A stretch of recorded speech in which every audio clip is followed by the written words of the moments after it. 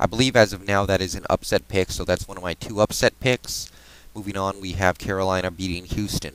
Carolina is kind of my sleeper team this year. I don't take very many sleepers, but I think Carolina is being ignored because of what happened last year. However, um, I think that defense is going to be too much for the Houston, just good enough, if you will, offense. And I don't think the Houston defense has what it takes to stop the playmakers on Carolina's offense. So Carolina will move to 2 0 and be looking nice and pretty in that weak A- uh, NFC South.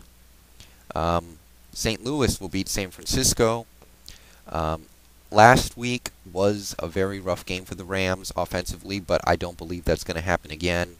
That's got to be, you know, the fact that Marc Bulger and Steven Jackson could both blow on the same day. That's almost a mathematical impossibility, and it happening two times in a row has got to be considered astronomical. So one of these guys is going to light it up against a suspect San Francisco defense. They are missing Orlando Pace for the season, and that does kind of turn me off what they're going to be able to do this year. Um, if you look at what happened after last year, last year when Pace got hurt, but I don't think San Francisco's defense is good enough to take advantage to that point. And there's only one aspect of this game that I trust, and that is the Rams offense. I don't trust the Rams defense. I don't trust the 49ers offense or defense. So there you go. Dallas will beat Miami. I'm calling another big game for Terrell Owens. It's going to be tough to run against the Miami defense. They got some great linemen and linebackers, but I don't trust their secondary one bit. So, um, if you think T.O. lit things up last week against New York, I think this is another one of those days where he's just going to be, you know, approaching the milestones that I have in my profile blurb thing. Um, and possibly Crayton or Hurd or Witten or whoever gets on the field. Another big day for Tony Romo, I think. Um, Seattle will beat Arizona. We're going down to um, Phoenix to play them. I'm pretty confident in this one as well. Arizona seems like, you know, it was just one game, but very disappointing. If you saw that, um, they gave it away at the end. Their defense does look good. We've been historically weak against the 3 4 defense and Arizona's 3-4 is looking solid, but not spectacular yet. um, I'm guessing Matt is going to put up pretty big numbers. I don't trust Shaun so much against the 3-4 defense. He should be solid, but I think the passing game is going to have to pick up some slack, as it should be able to against a relatively weak secondary. Um, Minnesota will beat Detroit. This is a very tough game to call for me. Both teams but I'm going to take Minnesota because I do trust their defense considerably more. Detroit will be likely incapable of running the ball. Admittedly, they usually are. But um, I think the Minnesota pass defense has improved. They won't be able to shut out the passing game of the Lions, which is potentially deadly. But they have enough players to take advantage of Kitna's mistake-prone nature. And when Minnesota has the ball, I fully expect all day. Adrian Peterson, a guy I'm really starting to like the more I watch him. I fully expect all day to um, just have a big day against a Lions defense that, again, I just don't trust beyond what they have on the defensive line. Um, and Tarvaris Jackson, actually, against that very weak secondary. Watch out. He could have his first real good game of his NFL career. Um, i t- I'm taking Baltimore to beat the Jets. Um, I've heard that Chad Pennington is unlikely to play, but he's going to try his best. And I've heard that Ogden is out. I've heard Ray Lewis is in, and Steve McNair is questionable. Regardless of all that, I'm going to go with the Ravens. Their defense is going to be too much for Kellen Clemens, most definitely. If Clemens starts, they should probably cancel this game before it starts almost. That's how confident I would be in Baltimore, especially after what happened on uh, Monday. Yeah. If Pennington starts, things are a little different, but I believe Baltimore is a better team either way.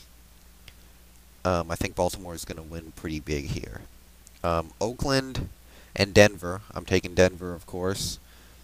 Um, in past years, as I recall, Oakland's managed to keep it close against Denver, largely because Jake Plummer had a tough time dealing with the tough Oakland defense. I think Cutler is more confident than um, Plummer ever was, even at this point. Um, I trust him more than Plummer already. I never trusted Plummer at all. He had one really good season, and then whatever, right? Um, and I expect the Denver, um, excuse me, Denver defense to uh, get back on track in terms of stopping the run. And we all know it's nearly impossible to pass on them. Plus, um, I don't know who's going to start. Maybe it looks like Culpepper at this point, and we'll see how that works. I think he's going to be all right though. Um, next game, Chicago will be Kansas City. I think it's going to be closer than some people think. I like the Chiefs' chances this year more than most people. It's become apparent to me after last week that they are a bad team, and I probably thought too much of them in the offseason. But they have enough talent to make some things interesting here and there. I don't think this game is going to be as big of a blowout as some will think, but I'm confident Chicago will win with that, you know, dominant defense. And um, big game of this week, San Diego at New England. This is my other upset. I'm taking San Diego.